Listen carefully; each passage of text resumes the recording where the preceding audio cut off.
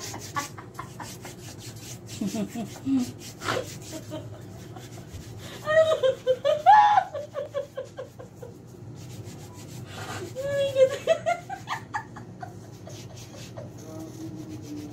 siya tawa ng tawa? Nakikiliti daw.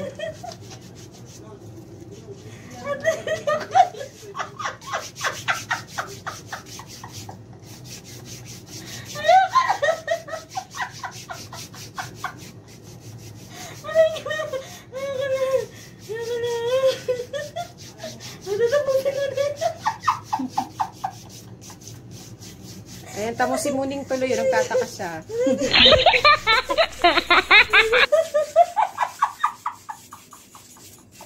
Nakakatuwa naman ito si ate.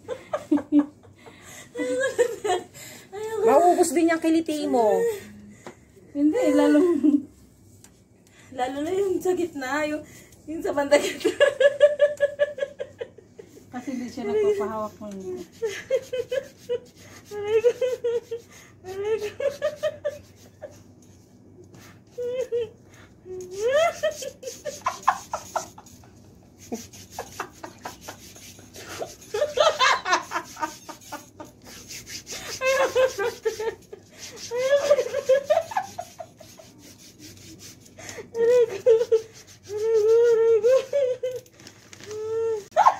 Swerte ko pala.